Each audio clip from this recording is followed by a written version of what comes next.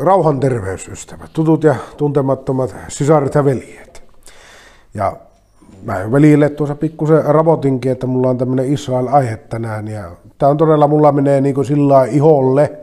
Tämä aihe, että liittyy mun uskoon tulemiseen. Mulla ollaan uskoon tulo keskustelulla Israelista työnkaverin kanssa, joka päätyi siihen, että hän kertoi minulle evankeliumi. Ja mä tänä päivänä avaan tätä kysymystä, että miten tämä Israel ja kristityt on näin lähellä toisi. Koska eihän juutalaisuus ja Jeesus ole kovinkaan lähellä toisia, valitettavasti. Vaikka ne vois olla. Ja mä lähden tämmöistä kohtaista Matteuksen evankeliumin 15 lukuja. Tämä oli niitä ensimmäisiä kohtia, kun mä tulin uskoa, että mulla tuli ristiriita. Mä en ymmärtänyt, mitä Jeesus sanoi. Ja tähän Israeliin liittyen on paljon semmoista, että kristitytkään ei ymmärrä sitä niin hyvin kuin se voisi, koska tähän liittyy salaisuus. Aina kun puhutaan Israelista, siinä on jonkinlainen salaisuus kätkettynä. Ja mä lähden täältä jakeesta 21. Täällä on nainen, ja tämä nainen ei ole juutalainen, vaan tämä on pakana nainen täällä. Ja tässä tulee, no luetaanpas tästä näin. Matteus 15 ja 21. Ja Jeesus lähti sieltä ja vetäytyi Tyyron ja Siidonin tienoille, nykyisen Libanonin alueelle. Mennään kahtelee Libanoniin. Nythän on se Libanonin sota ja siellä on nyt tullut esimerkiksi esille että tämä, kun nämä YK-rauhanturvaajat on siellä olleet hyvin tehokkaasti turvaamassa Hesbollahin terroristijärjestön tunneleita. Ja ne on silim, niiden rauhanturvaajien silmien alla ollut nämä terroristitunnelit ja ne on hyvin röyhkeitä nämä terroristit ja toisaalta sitten näin puusilmäisiä me länsimaiset ja rauhanturvaajat ja muut siinä. No joo, mennään tänne Libanonin alueelle. Ja katso, kaananilainen vaimo tuli niiltä seudulta, huusi sanoen, Herra, Daavidin poika, armahda minua riivaa ja vauvaa kauheasti minun tytärtäni.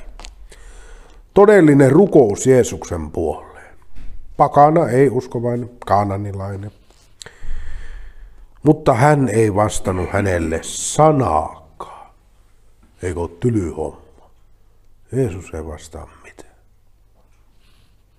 Niin hänen opetuslapsijat tulivat ja rukoilivat häntä, sanoin. Nyt tuli toisiakin rukoukseen mukaan, esirukoukseen. Päästä hänet menemään, sillä hän huutaa meidän jälkeemme. Hän vastasi ja sanoi, minua ei ole lähetetty muita kuin Israelin huone kadonneiden lammasten tykö. Aamen, mä pysäytän tuohon. Te tiedätte myöhemmin sitten, kun se nainen jatkaa siinä rukousta ja Jeesus vie sen sille oikein nörtymisen paikalle ja hän, hän sitten armahtaa sitä ja toteaa, että tällä naisella on suuri usko, vaikka se ei ole juutalainen. Kaananilainen vaimo. Tällä on suuri usko. Miten näin on, että tämmöinen suuri usko löytyy täältä ja siihen me voitaisiin siihen mennä, mutta mä pysähdyn tähän. Tämä viimeiseksi, mikä luin tässä tämän 24 ja että oli mulle mysteeri, mä tuli usko. Mä että Eikö Jeesus ole ollenkaan meitä pakanoita varten? Etkö ainoastaan Israelia varten? Nythän meillä tuntuu niin kuin se olisi ihan päinvastoin, että se ei ole ollenkaan juutalaisia, että ne on niin yljettyjä, että ne on pelkästään tuota, niin, tämmöisiäkin oppeja ollut, niin, että ne on pelkästään niin meitä pakanoita varten, mutta mulle oli tämmöinen ristiriita ensimmäinen, mä tuli usko. Miten näin voi Jeesus sanoa, että ei ole lähetetty ollenkaan. Ei ole suomalaista, eikä venäläistä, eikä amerikkalaista, vaan ainoastaan Israeli huomenee kadonneiden lammasten tykö. No, tämähän on se alakulähtöasetelma, kun Jeesus tuli todella juutalaisen kansan keskuuteen. Ja heille julisti evankeliumia, niinhän mekin monesti aloitetaan, niin kuin minä aloitin, kun mä tulin uskoon, niin mä menin paikallisen kirkkoherran tykön nuhtelemaan, että miksi te ette kerro, kerro ihmisille, että pitää tehdä parannus ja tulla uskoon. Kirkkoherra oli tietenkin vähän pöyristynyt siinä ja niin edelleen. No minäkin aloitin siltä omasta Jerusalemista sitten se siinä kohdalla, mutta tässä hän me tiedämme sitten, kun mennään eteenpäin niin juutalaiset hylykkää Jeesuksen, eivät ota kansana vastaan Messiaan, Messiastansa. Ja me tiedämme sitten, alakuseurakunnassa oli ensimmäinen kriisi tähän liittyen, kun he lähtivät jakamaan evankeliumia ennen kuin Paavali tuli siellä niin Pietarikka ei edes uskonut, että näitä pakanoille kuuluisi evankeliumia niin julistaa. Vasta Korneliuksen talossa, kun alkoi pakanoita tulee uskoon, niin Pietari tajus sitten siinä, että aita on tarkoitettu kaikkeen maailmaan. Mä ajattelin, että tämä on vaan, vaan niin meidän juttu. Että se oli vähän niin kuin lestaatiolaisilla ystävillä, että Jumalan valtakunta on vaan meillä. Niin vähän näillä semmoinen samalle ajattelu, että vaan juutalaisille. No meidän taas pitää vähän niin kääntää sitä pakettia taas ymmärtää siihen toiseenkin suuntaan tätä asiaa, mutta tämä Israelin huoneen suunnitelma, se meni jäihin siinä vaiheessa, kun Israeli kansa ei ottanut Jeesusta vastaan. Ja se meni se suunnitelma pauselle. Ja siirryttiin tähän B-vaihtoehtoon, joka olikin se Jumalan suunnitelma, että kaikille kansoille viedään ja näin. Paitsi juutalaiset on semmoinen, että siellä uppua hyvin huonosti evankeli. Siellä ei ole herätystä ollut vielä koskaan. Yksittäisiä juutalaisia on tullut kaikkina aikoina uskoon, kiitos Jumalle, ja on se jäännös. Mutta semmoista ei voida sanoa, että Israelissa on ollut suuri herätys sinä ja sinä vuonna. Niin kuin Suomessa on ollut näitä herätysliikkeitä. Ei siellä ole semmoisia herätysliikkeitä ja semmoista siinä mittasuhteessa, kuin meillä on nähty. Mutta Jeesus kutsui yksi omaa pakanoita. Ja tämä oli hänen kärkisuunnitelmassa. Ja tämä on hänellä vieläkin. Jeesus ei tuu maan päälle takaisin. Ennen kuin juutalaiset huutavat Paruk hapa besem Adonai. Siunattu olkoon hän, joka tulee Herran. Juutalais. Tämä on näin iso kysymys. Tämä liittyy tähän näin keskeisesti Jeesuksen paluuseen. Tämä on se loppu, joka on suorittama. Tämä ei ole, keske, tämä ei ole ollenkaan niin hyljätty tämä suunnitelma, mikä Jeesuksella oli tänne Israelin huoneen kadonneiden lammasten tykö. Tämä on vieläkin Jumalalla erittäin tärkeä asia. Mä oon tämä raamattua nyt viime päivinä erityisesti tämä Israel-aihe mulle ruvennut koskettelemaan. Kiitos preteristi ystäviä, jotka menitte haastaa nyt tässä meitä, meitä niin se oikein, oikein sai minut tulistuun tässä Israel-aiheessa ja jotenkin uudelleen syttymään tässä. Ja mä avaan vähän uusia näkökulmaa, mutta mä otan täältä ihan raamatun alakupuolelta mennään viienteen Mooseksen kirjaan. Niin täällä on semmoinen jae, aivan lopussa, täällä on tämmöinen Mooseksen virsi. Ja Mooses niin laulaa tämmöisen profeetallisen sanoman hengessä. Niin täällä on tämmöinen mielenkiintoinen pari jaetta, jotka mä ystävä sulle luen tässä. Ja täällä Salami, anteeksi, 5 Mooseksen kirja 32 luku, tässä virsi, niin siitä jakeesta seitsemän. Muistele muinaisia päiviä, ajattele menneiden sukupolvien vuosia. Monessa meidänkin asiassa auttaa vähän laita isommaksi tämä skooppia. Sulla on joku hätätilanne tai hätäpäivä siinä, niin sä mietit sitä tämän päivän skoopissa. Sä et katso sitä kymmenen vuoden jaksossa, eikä sä katso taaksepäin, kuinka Jumala on kuljettanut sua.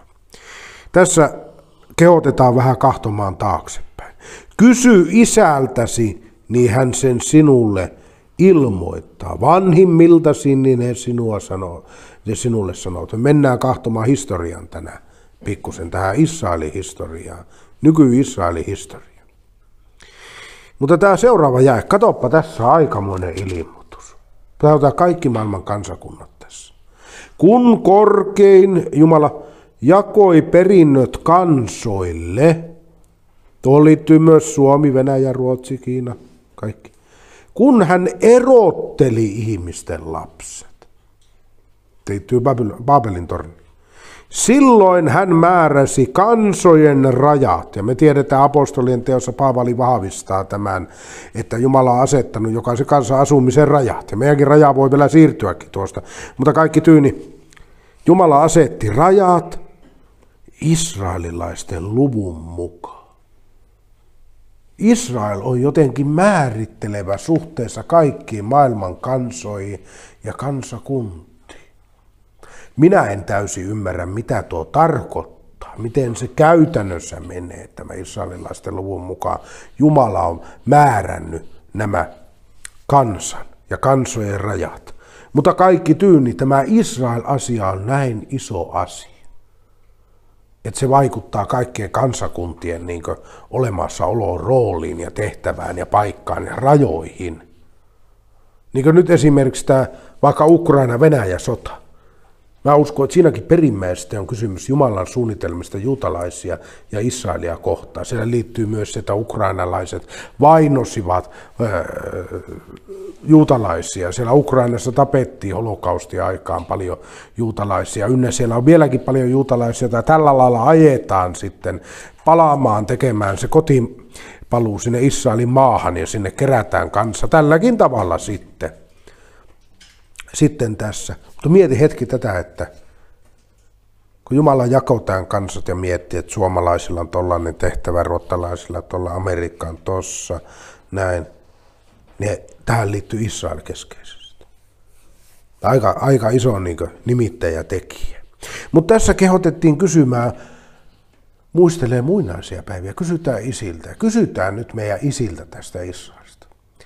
Mä tarkoitan tällä isiltä tässä aikaisemmilta sukupolvelta eh, herätyskristillisyydestä, uskovaisten keskuudesta. Mennään takapäin sata vuotta, parisataa vuotta, 300 vuotta. Katsotaan uskonpuhdistuksen jälkeen tätä Israel-kysymystä. Jumala alkoi puhumaan ei juutalaisille, ei muslimille, ei maailmalle tai YKlle, vaan kristityille – Jumala alkoi puhumaan, että juutalaiset tulevat palaamaan kotimaahansa. Yksi varhainen henkilö, jolle Jumala alkoi puhumaan tästä, on vuosituhannen vaihteessa maailman suurimmaksi tiedemieheksi eh, äänestetty Isaac Newton. Hän eli 1642-1727. Eli siellä 1600-luvun lopussa ja uskonpuhdistusta mennyt hyvästi eteenpäin. Ja hän löytää raamatun profeetiasta juutalaisten paluumuutu. Hän lukee raamattua ja yksi semmoinen mihin hän referoi, ja hänellä on kommentaari tästä. Nämä on löydetty tässä vasta hänen kuolemansa jälkeen. Hän teki paljon pöytälaatikkoa juttuja. Niin kuin monet, te, minä, minäkin teen paljon pöytälaatikkoa, mä ikinä puhun niitä te, teille kaikkia. Ja, ja varmasti hyväkin sillä lailla justiinsa, että ei kaikkia tule puuttua, mutta kaikkia tulee tutkittua ja pöytälaatikkoon, niin hän teki paljon tutkimusta Israelin alueessa. Tästä profeetiasta. Ja liittyy tietenkin juutalaista ja kristiuskoja ja tämmöinen tämmöinen, mutta tämä raamatun profeettia, tutkijat nykyisin sanoo, että Isaac Newton, joka kehitti alle 30-vuotiaana, reilusti alle 30-vuotiaana, meidän modernin matematiikan ja mekaniikan iso osa fysiikkaa aina lukioota myöten, mitä lukioissa vielä opetetaan meillä. Hän melkein tyhjältä pöydältä kehitti ne itse. Alle 30 nuorena kloppina. Superälykäs mies mutta hänen pääharrastuksensa oli tutkia raamatun profeettia. Ja on tutkittu. Se on ollut hänen pääjuttunsa, mitä hän on niin tehnyt, hänen suuri intonsa elämässä oli Jumalan sana.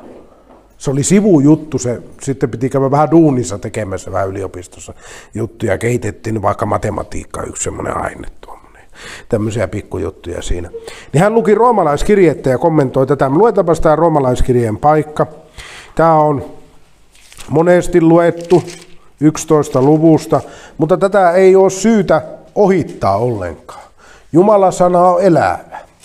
Mä oon kuullut tätä viime aikoina, mä itse varhaisessa ajoissa kosketti tämä jae paljon täältä Israelin pelastuminen väliotsikolla roomalaiskirja 11. Me on tätä hiljattaikin muistaakseni lukkiin tämä, mutta luetaan taas. Ja kuunnellaan kommentaaria 300 vuoden takaa maailman suurimmalta tiedemieheltä. Tässä sanotaan näin, sillä minä en tahdo, veljet, roomalaiskirja 11 ja 25. Minä en tahdo, veljet, että te olisi oman viisautenne varassa, pitää teitä tietämättömynä tästä salaisuudesta.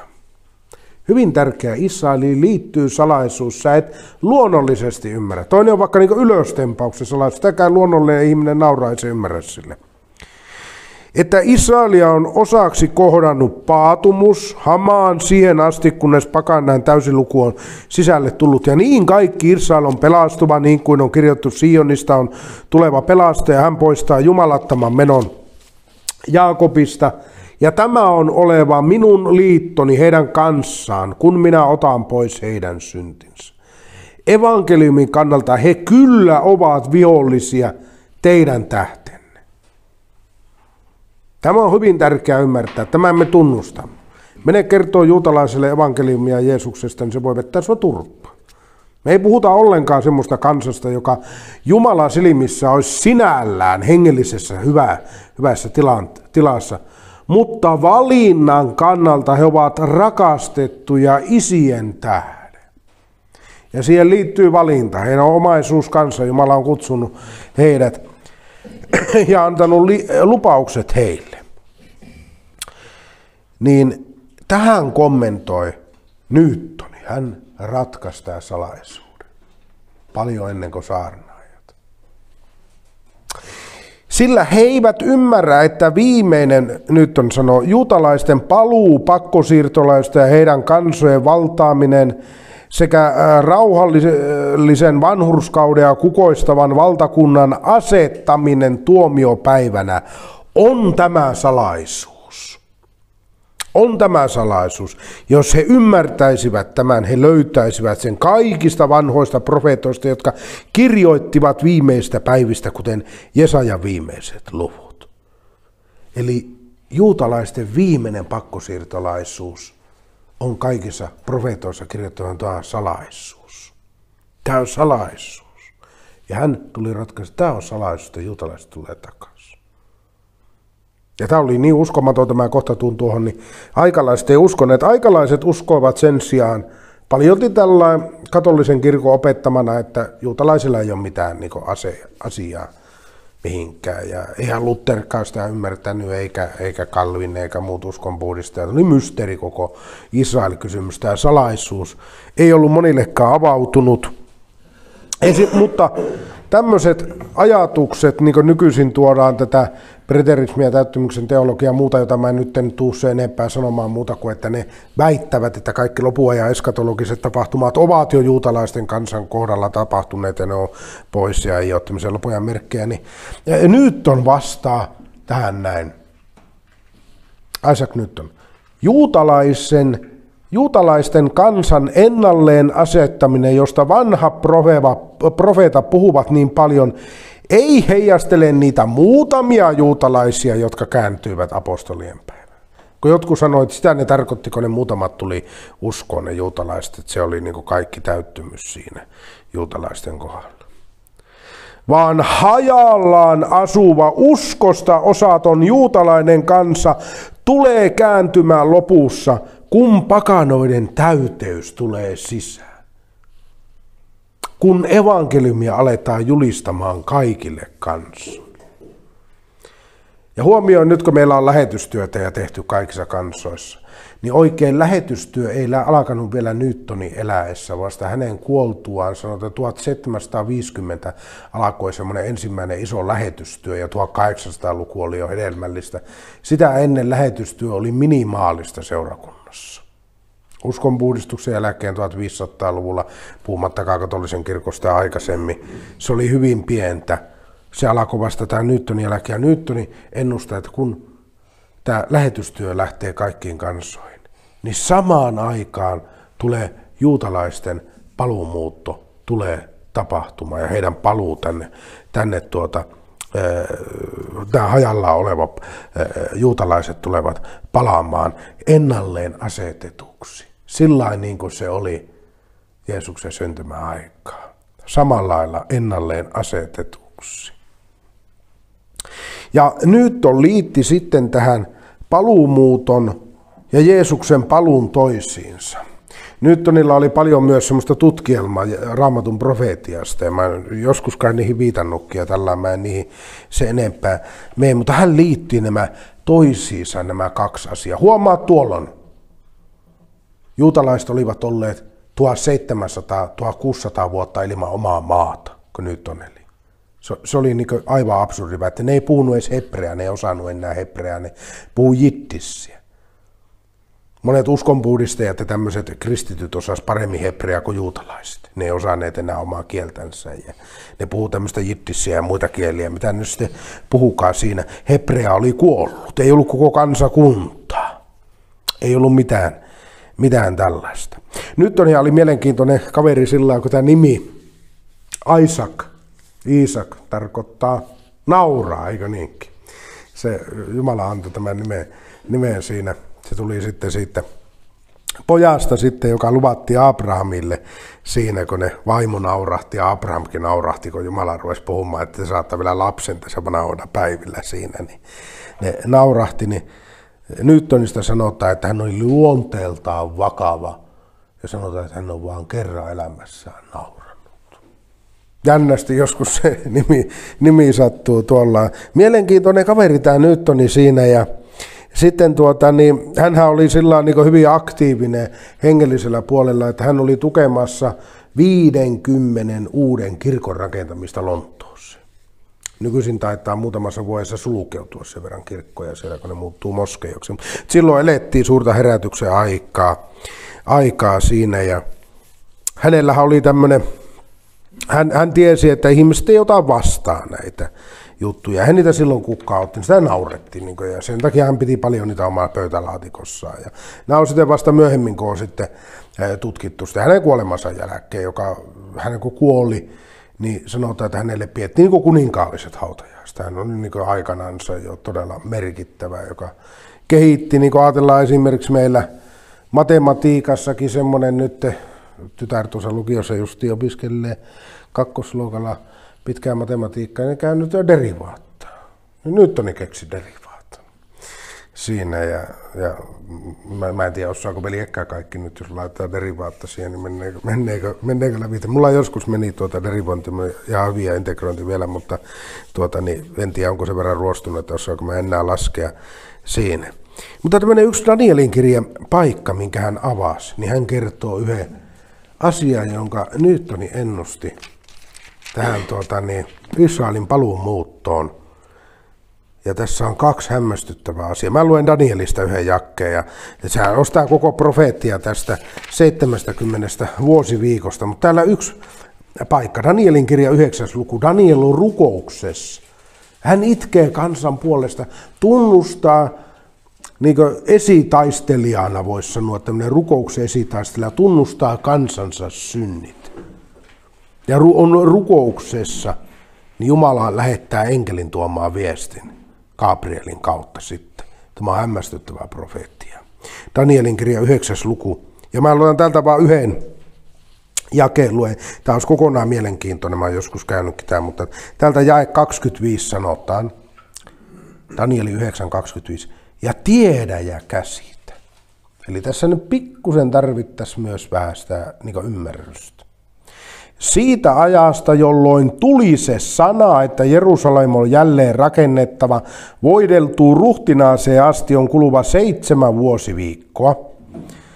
Ja yksi vuosi viikko tarkoittaa seitsemän vuotta, eli seitsemän kertaa seitsemän, eli 49 vuotta, eli 50 vuotta voi sanoa lähestys. Ja 62 vuosiviikkoa, niin se jälleen rakennetaan todennänsä vallihautansa, mutta keskellä ahtaita aikoja. Amen. Tämähän yleisesti nähdään, joka onkin ihan totta, niin liittyen Jeesuksen tulemukseen. Hän tulee tiettynä aikana tuossa. Mutta nyt on vei tuon niin ensimmäiseen tulemukseen. Että se, silloin kun Jerusalemi oli uudelleen rakennettu ja siitä meni, sitten voidaan laskea tuosta, tuosta 490 vuotta, niin siitä meni sitten siihen tai 483 vuotta, jos ollaan tarkkoja, kaikki tyyni nuo laskelmat tuosta vuosiviikoista ja niin edelleen, niin Jeesuksen ensimmäiseen tulemukseen. Me ei mennä nyt siihen, vaan kuuntelepas nytten, mitä Newtoni avaa tässä, ja tämä on mun mielestä aivan mullistava, mullistava juttu.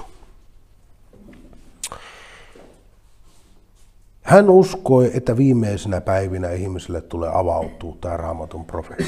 Ne, ne, se salaisuus, jonka hänelle oli avautunut, ja hän ei monelle edes vihtinyt kertoa, kun ihmiset olisi pitänyt häntä hulluna. Ja hänellä oli vähän erikoisia käsityksiä, niitä en kaikkia allekirjoitakaan ja tämmöisiä, mutta hän toteaa tällä vielä paremmin siitä käskyn lähtemisestä, joka vaikuttaa juutalaisten paluun heidän pitkästä pakkosiirtolaisuudesta josta Mooses ja profeetat ennustivat.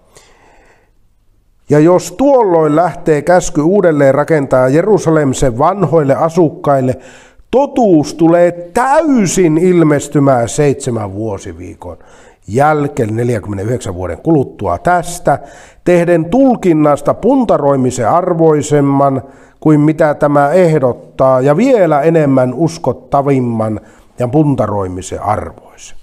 Pahoitteluni tuo mun könkkö käännös siitä vanhasta englannista.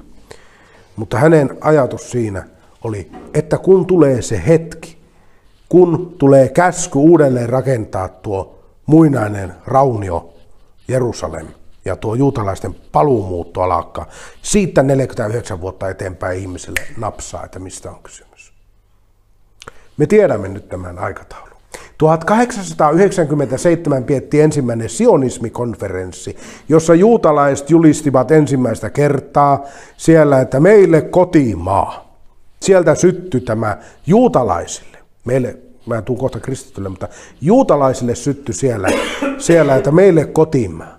Kun sä meet siitä 1897, tuo ennustettu Newtonin ennustamat 49 vuotta eteenpäin, sä pääsit vuoteen 1946. Ja juuri tuona aikana oli maailmansota loppunut. Seuraavana vuonna Israel tulee kartalle, tai tulee YKssa hyväksytään Israelia, 48 sitten tulee kartalle.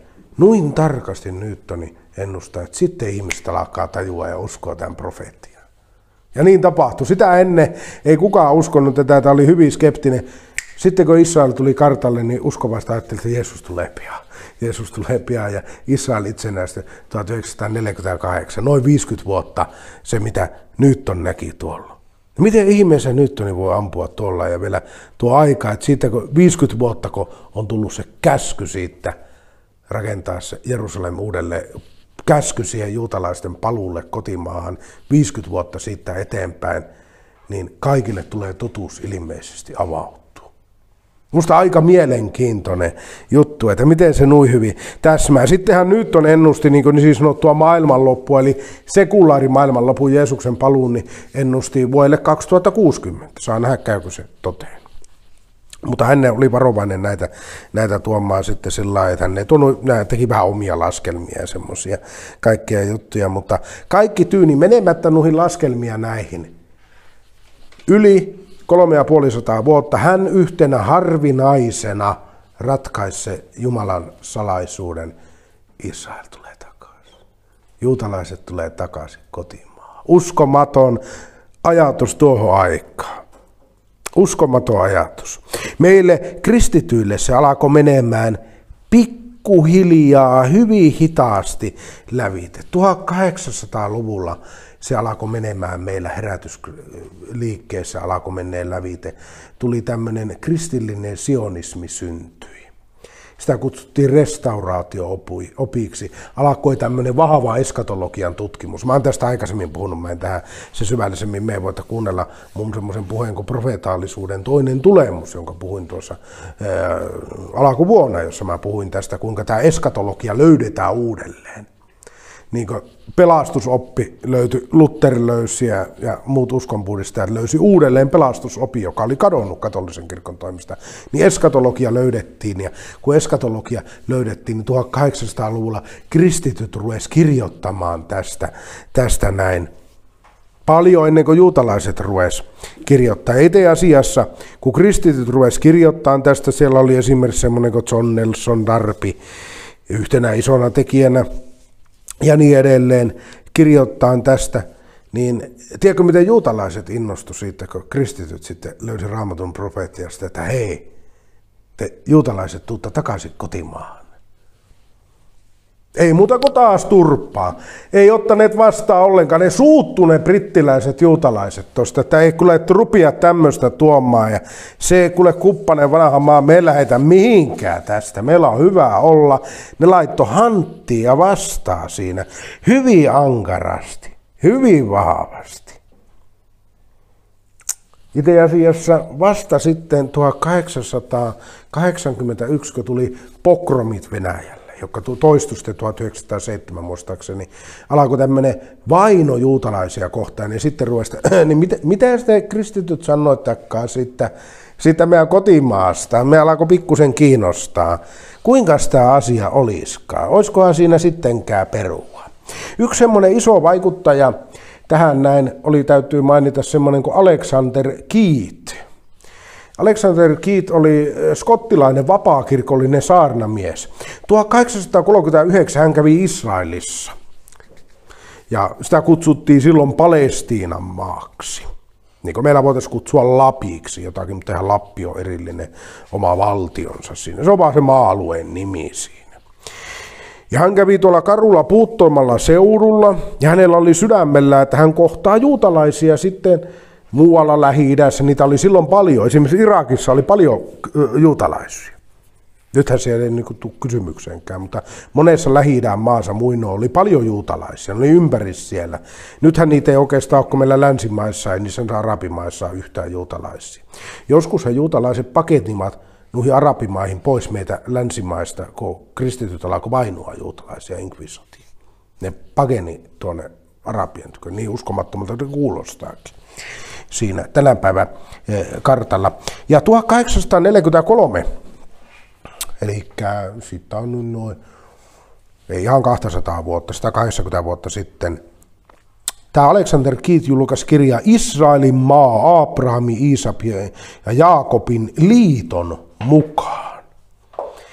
Ja tuosta kirjasta tuli valtava suosittu lause, 1800-luvulla otettiin sieltä irti semmoinen lause tuosta kirjasta, maa ilman kansaa, kansalle ilman maata.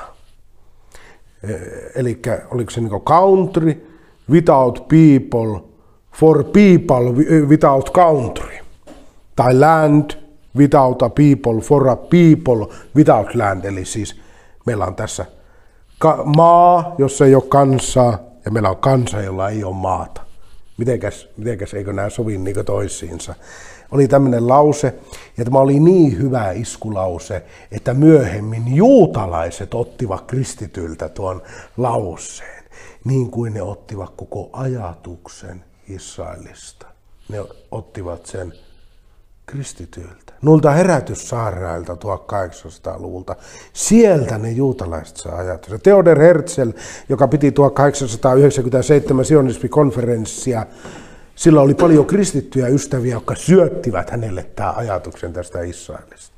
Tämä on vähän eri lailla, kun me ajatellaan, että juutalaiset keksi tämmöisen paluumuuta ja me, me ollaan lähetty vähän niin kuin tukemaan sitten sitä hommaa näin kristittyinä. Se on päinvastoin. Me laitettiin alulleen.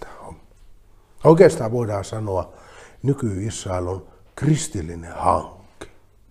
Alavuolakka. Kristityt laittovat sen, sytyttivät sen. Tietenkin se on Jumalan hanke, kunnia Jumalamme, mutta tätä kautta. Täällä on mielenkiintoinen, mä otan yhden saarnan, Saar Spurgeonilta. Ja Spurgeon 1864 saarnaa Hesekielen kirjasta. Nämä on hämmästyttäviä lukuja.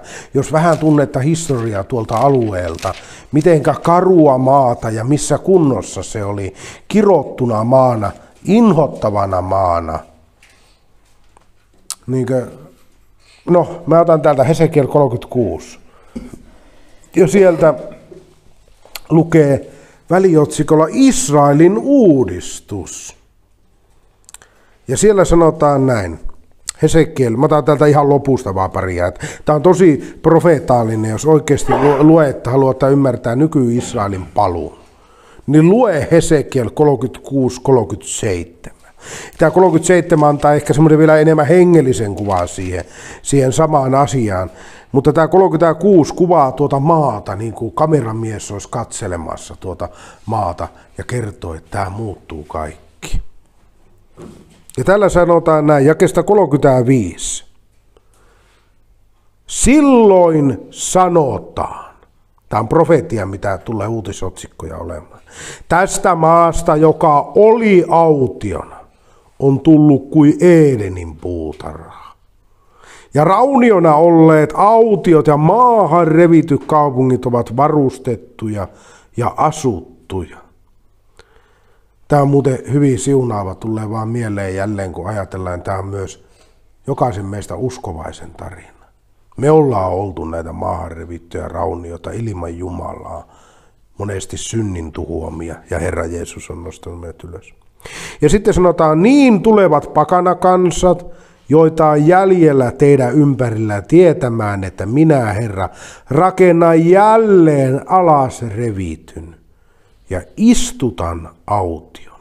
Minä, Herra, olen puhunut ja minä sen teen. Ja se on niin uskomatonta, että semmoinen idea, mikä täysin torpattiin, juutalaiset torppas, sitä ennen kristityt torppas sen ajatuksen, niin Jumala tekee ja ilmestyy ja palauttaa. Spurgeon saarnaa tällä lailla tästä 1864. Kuuntelepa hänen puhettaan, ennalle asettaminen ja juutalaisten kääntyminen. Ja tästä meni melkein sata vuotta eteenpäin ennen kuin oli koko Israel, ennen kuin koko paluu muuttua. Se on niin kuin mä ennustasin nyt sadan vuoden päähän, että syntyy tuonne uusi valtio Venäjälle.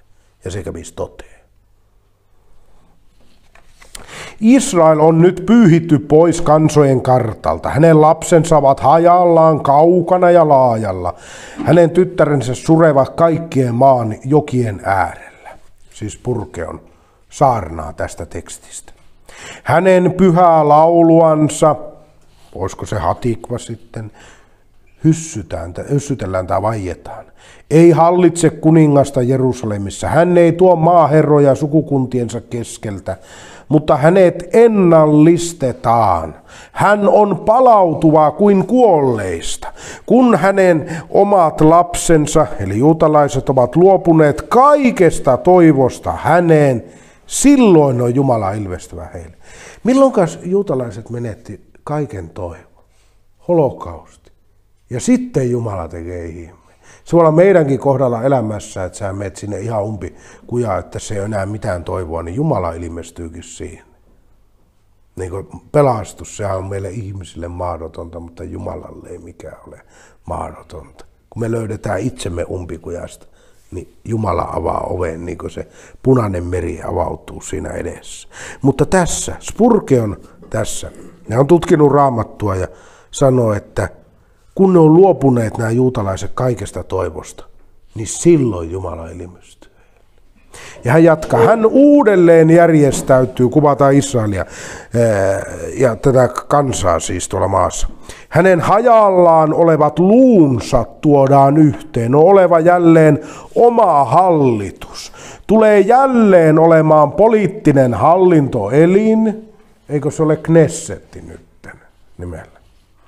Valtio yhdistyy ja kuningas on hallitseva. Israel on nyt vieraantunut omasta maasta, hänen lapsensa, vaikka eivät koskaan voi unohtaa Palestiinan pyhää tomua, kuoleva kuitenkin toivottomana kaukana pyhistä rannoista. Ei siellä juutalaisia asu. Mutta se ei tule olemaan niin ikuisesti.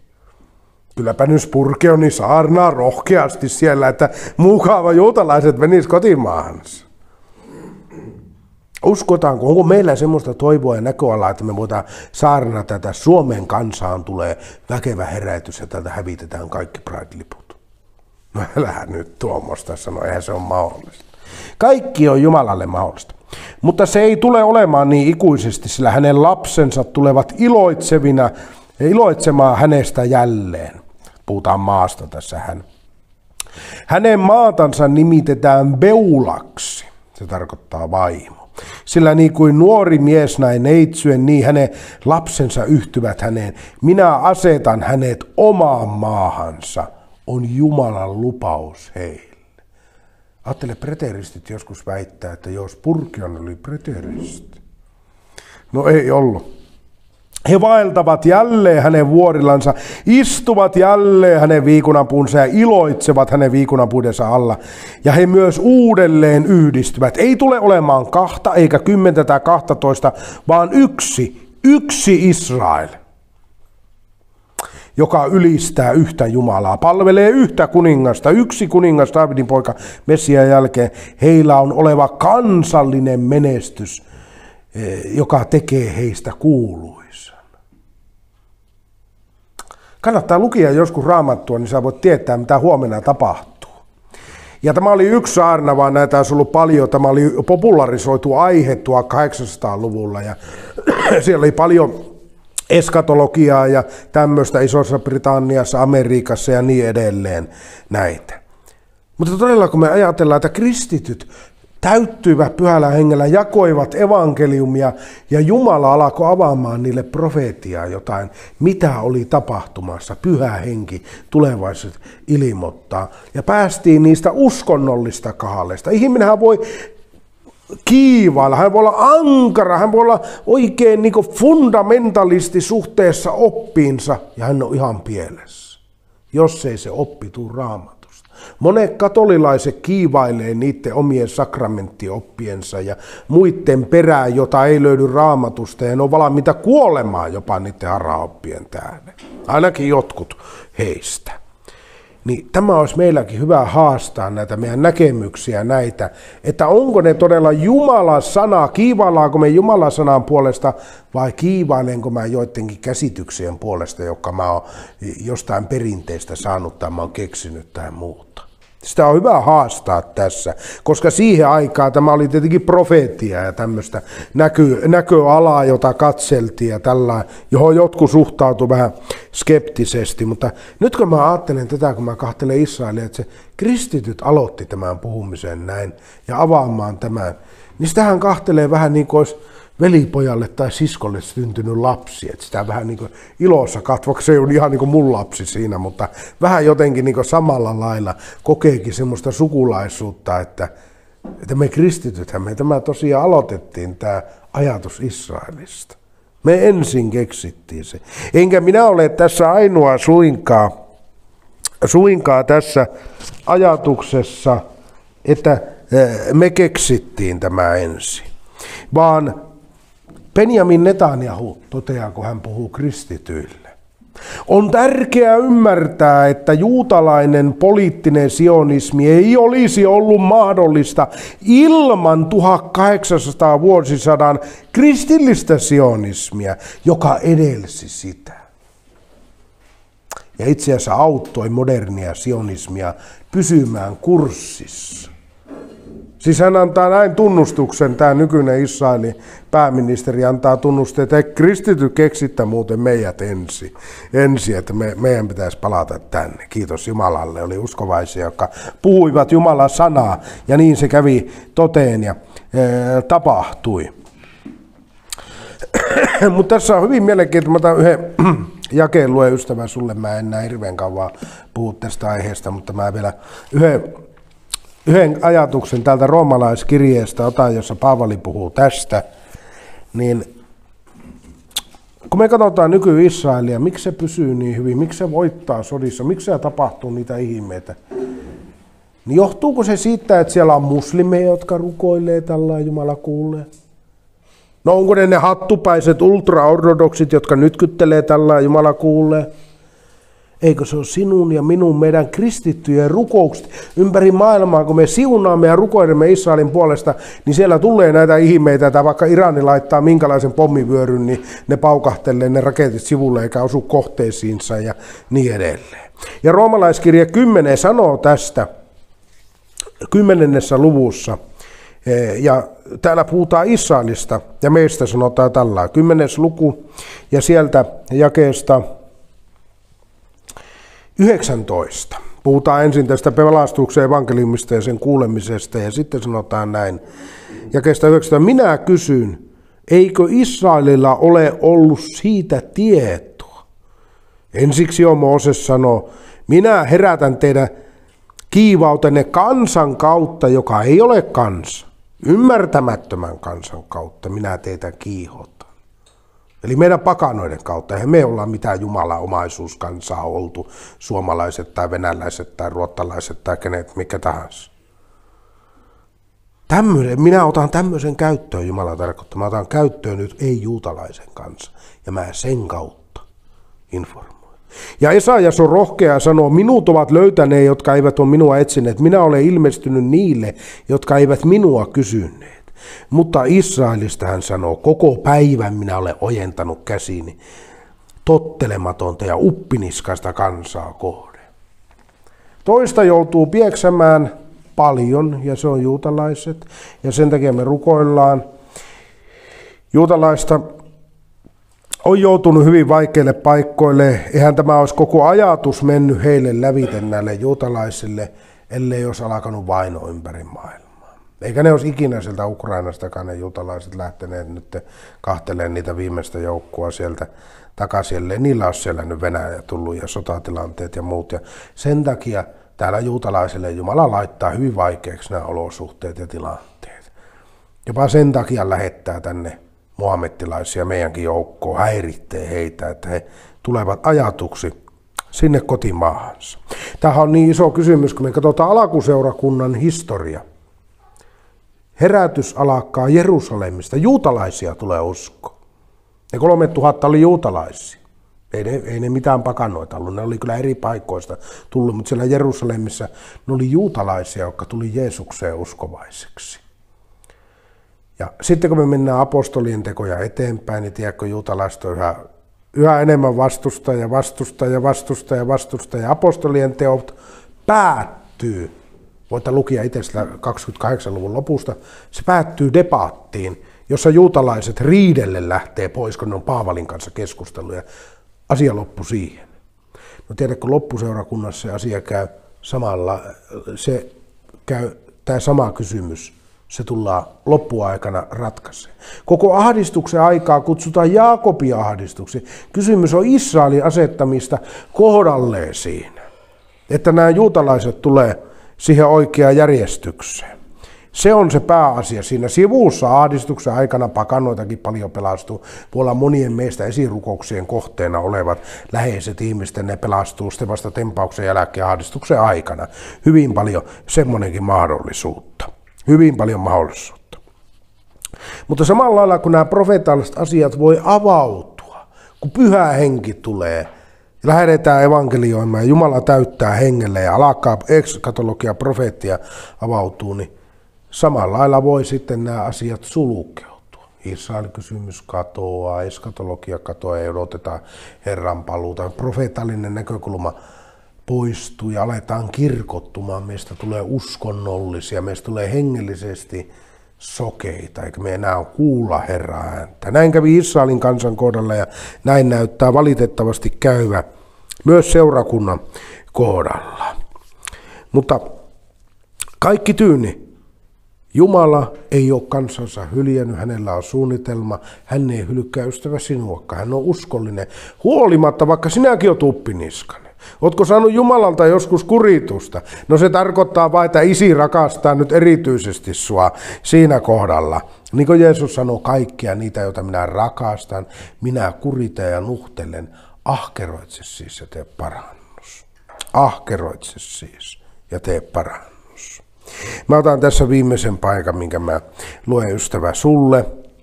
Mennään tänne Luukkaan evankeliumiin. Äsken oltiin siellä kun aloiteltiin Matteuksen evankeliumissa, Luukkaan evankeliumissa otetaan mies, jolla on Israelin rakkaus.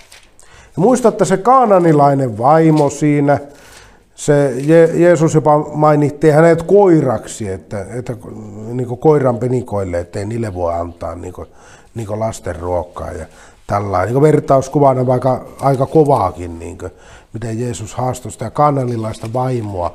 Nyt mennään toinen pakana täältä käsittelyyn. Tämä on ei-juutalainen mies, joka rakastaa Israelin kansaa. Ja se löytyy täältä sadan päämiehen tapauksesta, Luukkaan evankeliumi 7. luku. Jakeesta kaksi.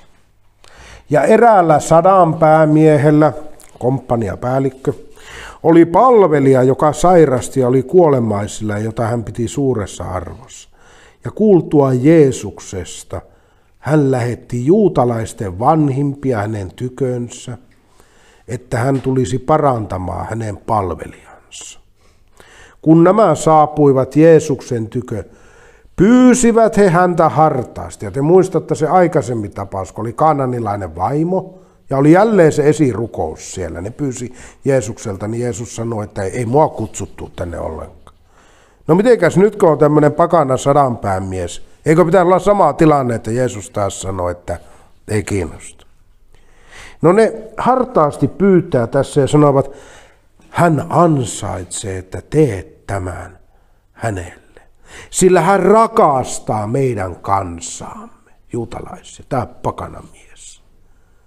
Ja hän on rakentanut meille synagogan. Katoppas, mitä sitten tapahtuu. Niin Jeesus lähti heidän kanssaan. Välittömästi Jeesus lähtee ja syttyy kun hän näkee, että tässä on tämä Israelin ymmärrys tällä miehellä. Israelin ymmärrys toi mut uskoo Herraan Jeesukseen, kun oli veli, joka ymmärsi Israel asioista ja osasi haastaa ja vei Jeesukseen sitä kautta sen keskustelun. Ja ystävä, siunataan mekin Israelia, Herra siunakko Israelia ja ennen kaikkea me rukoilemme, että Israelin Messias ilmestyisi näille juutalaisille ystäville ja monet kääntyseistä uskoo Herraa Jeesukseen. Se on meidän tehtävämme viedä evankeliumia Israelin Messiasta koko maailmaan. Kunnia Jumala Jeesuksen Kristuksen nimessä. Aamen. Seurakunnat muuttuu tämmöiseksi maan siksi seurakunniksi. Vähitellen uskovien sydämet yhdistyy, pyhä henki yhdistää eri, erilaisia uskovia ja ja, ja, ja, ja tulee semmoinen alkuseurakunnan eh, tunnelma. Amen. Mutta me ollaan menossa kohti kirkkautta, kohti taivasta, jossa on kadutkin kultaa. Halleluja. Minäkin tiedän, että minä pian laulan viimeisen laulun, niin vaikka minä nyt kymmentä vuotta Herralta pyysin ja jos minä saan julistaa kymmenen vuotta täällä, niin, niin, niin se on hyvä ja minä teen sen. Minä pidän lupaukseni, niin kuin mä sanoin Herralle vuosi sitten, kun täytin 70, sinä yönä sanoin, että Jumala, anna mulle kymmenen vuotta, niin minä menen vielä lihaa säästämättä ja laadusta tinkimättä minne vaan. Mutta minä odotan koko ajan, että Herra tulee hakemaan meidät tuulia pilviä ja pääsee täältä Karitsan häihin ja pääsee pois täältä. Ja sitten on tämä tilanne.